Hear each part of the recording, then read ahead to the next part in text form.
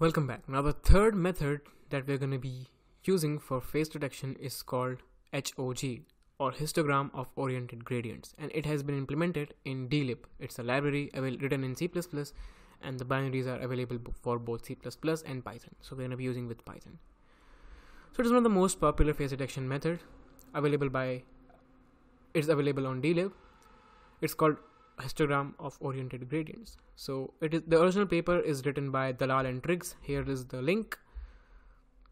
Now this model is built by using five HOG filters. So filters, the idea of filters is always the same, just matrices, sliding matrices. So the five filters are front looking, left looking, right looking, front looking but rotated to left, front looking and rotated to right. This model comes embedded in this particular header which is a C plus C, C file or C++ file. now here's some information about the data set. It was manually annotated by Davis King, who is an amazing engineer. He's the author of dlib. He, he is work. He has done some amazing work. So, just if you want to just read about him, you can. Okay, now the idea behind HOG filters is to extract features, basically dimensionality reduction. So, extract some useful features using the filters, the HOG filters, and then Classify those reduced dimension using support vector machine which will assess whether the region is an image or not. This is the high level idea. Now you can see this this flow chart. So first of all, the, you have the input image. You just normalize in gamma correction. You perform the gamma correction, which is not done always because it does not provide much accuracy boost. Now compute gradients. Uh, compute the gradients of the image to basically reduce the dimensionality of the image we'll use it over and over again the reduce reduction in dimensionality. Because the systems were not powerful systems were not that powerful and still the cpus are not that powerful. So we really have to reduce the dimensionality of the input so that we, we just throw away the useless data. So we'll just compute the gradients and what the gradient does is gradient captures all of the edges of the image. So using the edges you can detect what object the image contains. You don't have to have all of the other useless stuff from the image. Now now distribute the gradients in form of weight vote into spatial orientation cells. We'll look at look into that what it really is. These are basically cells which can be seen as vectors and they contain values of they can they act as a histogram values values of histogram for gradients. Now which gradient at which angle has occurred most times so it will contain the gradients. It's basically separating the input values into some other form which is of less dimension. Normalize all these gradients that you have already accumulated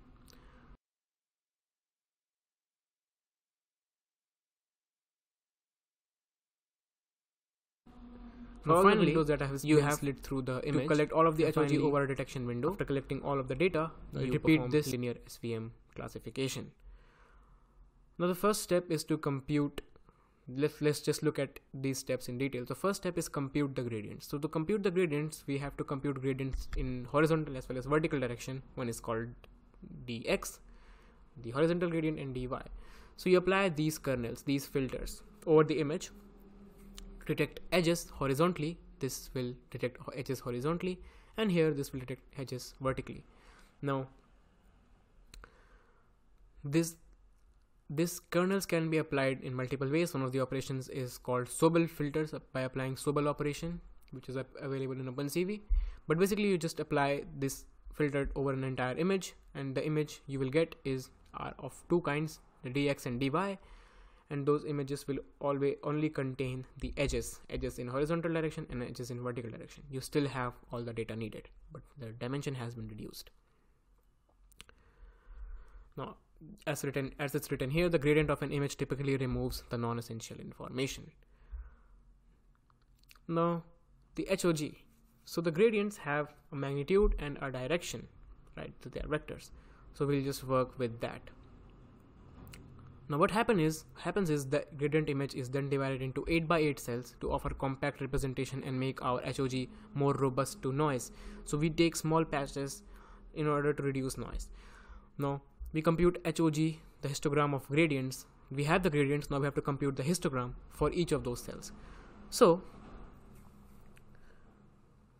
we basically estimate the direction of gradient in each region. We build a histogram of 64 values, that is 8 by 8 values of the gradient directions and their magnitudes in each region.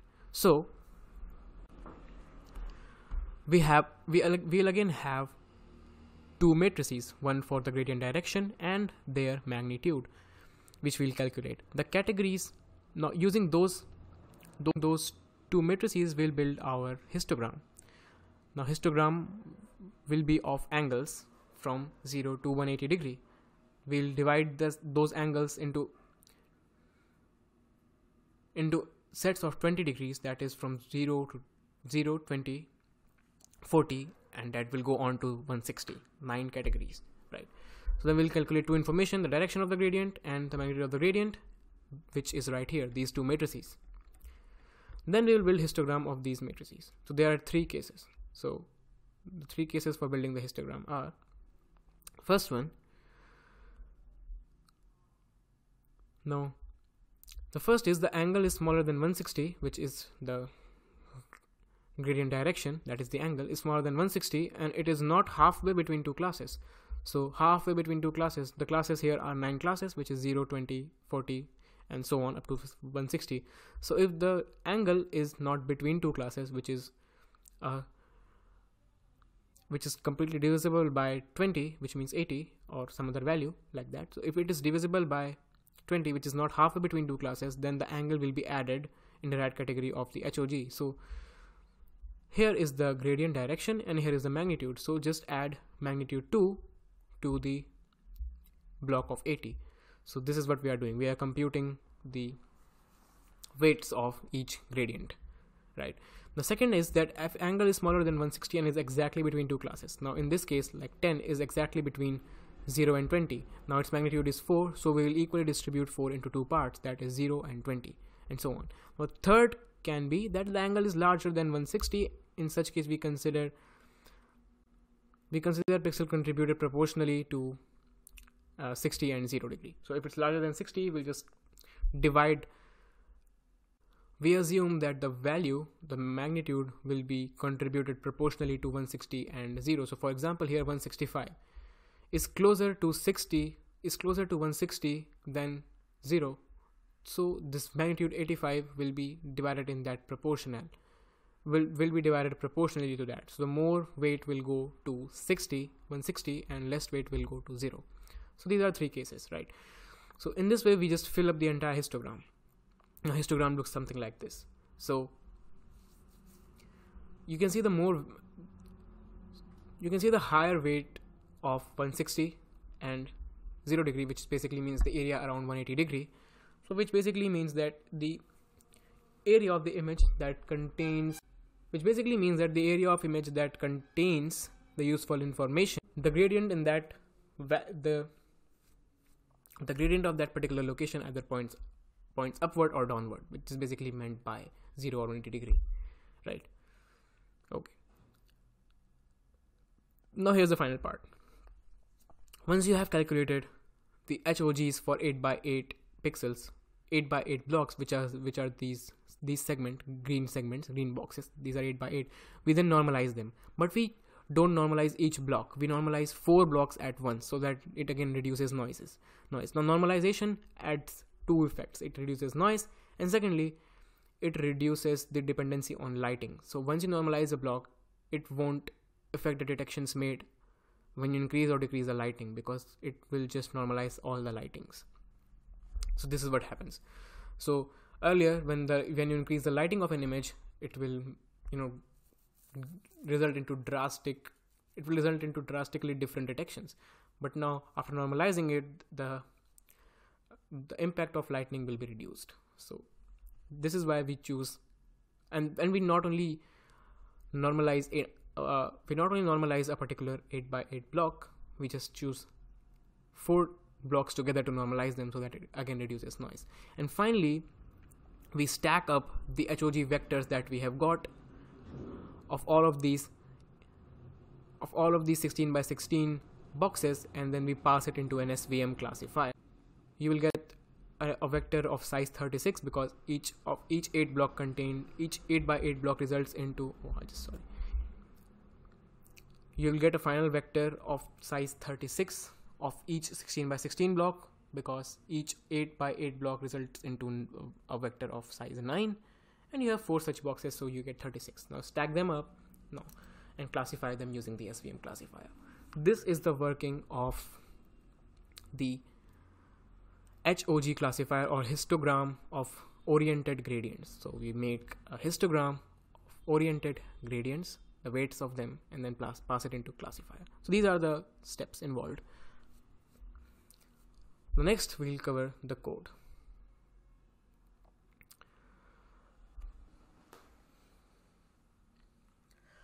So the code of the code of HOG classifier in dlib is really short and sweet. So we just quickly load OpenCV, dlib, imutils, which will import face utils, and then matplotlib.pyplot. Okay. Now we'll just create a new function that contains that takes a path as the input. Just load the image, convert it into RGB, and then in grayscale. Now to use the HOG detector, we use dlib.get frontal face detector. So this detector is actually the name of the HOG detector. Now finally, to detect something, just call that function with the input image and the scale. We're just using one scale as one, right? And now this will return an array of detection. So for all the detection, we'll just enumerate that and each each array will contain another array that will give you the height, width, x and y coordinates. So we'll just call rectangular rectangle to bounding box and we'll just pass this detections. So this is the importance of face utils from im face utils from imutils. So it will just we'll use this inbuilt function to convert a rectangle into bounding box. So this is another important thing that you have learned uh, in previous previous detectors we didn't use this function because you must know how to do this all by your own but now we can use this because you know that so finally we'll just call this function to get the bounding boxes then put a rectangle. You, I won't go into detail about the syntax because I have already covered it in previous videos. And then we'll just show that. So so let's just uh, quickly run this and let's see what happens. So as you can see it takes a bit of time to process these images but I'll go over that in, in a second. Let me just quickly show you the output. So as you can see it has easily detected this face which was expected because all of the previous methods have detected now all of these faces are also detected which was not done by the cascade classifier but was done by DNN classifier in OpenCV and this is something special because it detects almost all the faces except the first one in the smaller region and it has also detected four of the background images, background faces. So it's really impressive. Again, in the next image, it detects all four as expected. In the final image, it is now able to detect the faces which are small and still at an angle. So it has detected four or five faces. Now, this is something quite impressive. Now, uh, well, I can say that well you can easily say that this is actually a good a really accurate classifier not the best but still an accurate classifier now now one uh, one slight detail about dlib dlib classifiers is that whenever visible on whenever visible around the face so so whenever the face is really prominent you will see that that bounding box really cuts through the forehead and sometimes through the chin. Here you can see it has cut through the forehead. Here also it's cut through the forehead. Now when the face is really small you won't it won't be that visible. But again you can see whenever the faces are big it cuts through the forehead and through the chin. So it is one of the drawbacks if you want to say so it's it's a drawback but you can train your own data set by your own annotations then you will just uh, you know improve over this problem. Moving on to detect videos in real time using HOG now HOG detection you, everything will be just same just I'll just comment this out to write the video. I won't I won't write the video. I won't save the video. All right okay so this works really slow in real time so I'll just show you the real time detection video. So as you can see it's, it's working really slow. I'm, I'm not getting even 1 fps I guess. But what I have done is I have ran this code previously and have saved the output. So I'll just show you the output and you know you can yourself see how good it is. So so as you can see it works fine it is still detecting the face. It's better than the DNN from OpenCV. It's not able to detect at the faces at really steep angles. So yeah here's that.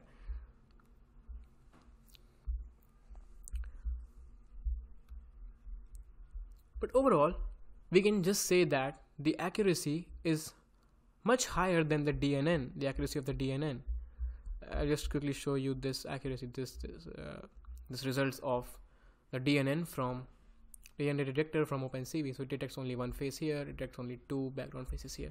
So it really struggles with really complex data, but HOG can detect faces.